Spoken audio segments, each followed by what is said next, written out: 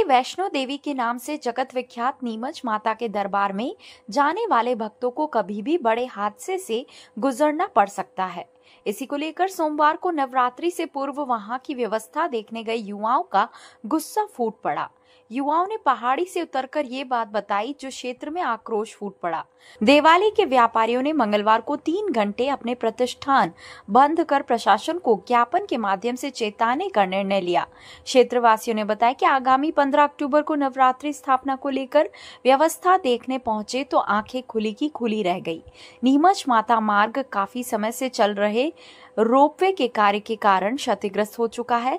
भारी साधनों को नीमच माता मंदिर तक ले जाने के लिए यही मार्ग काम में लिया जा रहा है। इसी के लिए रेती और भारी साधनों को गधों के ऊपर लाद कर ले जाया जाता है। इस कारण नीमच माता मंदिर तक पहुँचाने के लिए पूरा मार्ग टूट चुका है। उनका कहना है कि नवरात्रि के समय तक अगर यह मार्ग सही नहीं करवाया गया तो बड़ी जनहानि होने का भी अंदेशा है। देवाली नीमच माता जनता व्यापार मंडल के सदस्यों ने इसके विरोध में मंगलवार सुबह 11 से 2 बजे तक प्रतिष्ठान बंद कर ज्ञापन देकर प्रशासन को अवगत करवाने का निर्णय लिया। आप वीडियो में देख सकते हैं किस तरह से पूरा मार्ग टूटा हुआ है और मंदिर तक पहुँचने में काफ़ी समस्याओं का सामना भक्तों को करना पड़ता है।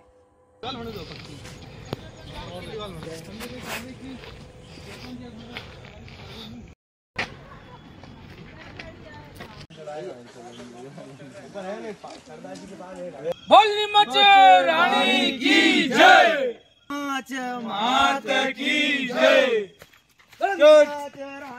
मैं प्रदीप कुमावत, निवासी देवाली, ये सब मेरे साथी हैं, जो हर वर्ष दस दिनों का जो उदयपुर की वैष्णो देवी, जो नीमच माता के नाम से जानी जाती है, वहाँ हम आज शाम को माताजी दर्शन के लिए गए थे।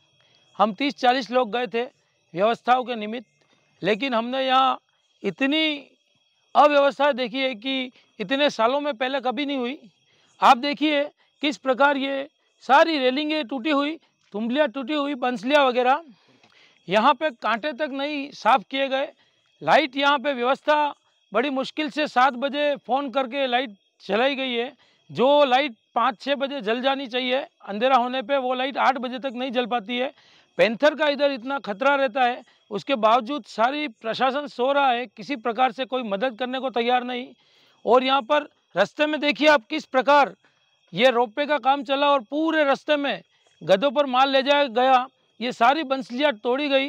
इनका कौन जिम्मेदार होगा? और अगर किसी सज्जन, किसी भक्तगण के साथ अगर कोई हादसा हो गया तो उसका जिम्मेदार प्रशासन होगा। या कौन होगा? इसका मुझे जवाब चाहिए। आज आप ऊपर गए थे तब आपने क्या क्या खामियाँ देखी पूरे रास्ते के हिसाब से वो बताएँ। पूरे रास्ते में कहीं भी बिल्कुल सफ़ाई नहीं है जो कि हमारा उदयपुर की वैष्णो देवी जहाँ की लाखों की तादाद में श्रद्धालुगण आते हैं वहाँ पे आज बहुत ही बुरी स्थिति है। हमें ये आपके चैनल के माध्यम से हम ये कहना चाहते हैं कि किसी भी प्रकार की यहाँ पे असुविधा हुई तो ये पूरी ज़िम्मेदारी प्रशासन की होगी क्योंकि इतनी बड़ी मात्रा में बंसलियाँ तोड़ दी गई है। इसका कौन जिम्मेदार है? और उसके अलावा देवस्थान विभाग यहाँ पे सिर्फ़ आता है और यहाँ पे वो भगवान की जो भेंट पात्र है उससे पैसा लेके जाता है उस वो करता क्या है? हम हम ये सब मोहल्लेवासी जवाब चाहते हैं। नीमच माता मंदिर के ऊपर जो सीढ़ियाँ हैं उसके नीचे के पिलर भी टूट चुके हैं। जो नीमच माता मंदिर की जो मेन सीढ़ी है उसके नीचे का वीडियो भी आपको हम बता रहे हैं। वीडियो के हम पाँच छः क्लिप आपको दे रहे हैं। उसके माध्यम से आपको पता चलेगा कि वास्तव में नीमच माता की स्थिति कितनी गंभीर है। अभी जहाँ पे 400 से 500 लोग एक वक्त खड़े रहेंगे लाइन में, वहाँ के नीचे के सरिये निकल गए हैं और सरिये भी टूट चुके हैं और कोई सुध लेने वाला नहीं है। पाँच पाँच बार ज्ञापन देके हम प्रशासन को और देवस्थान विभाग को पहले भी बता चुके हैं।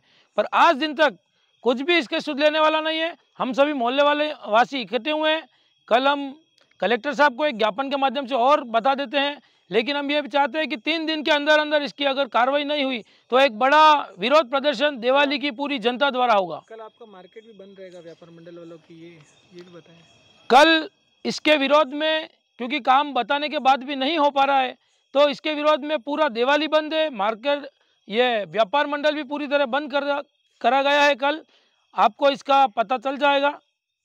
जय हिंद जय भारत।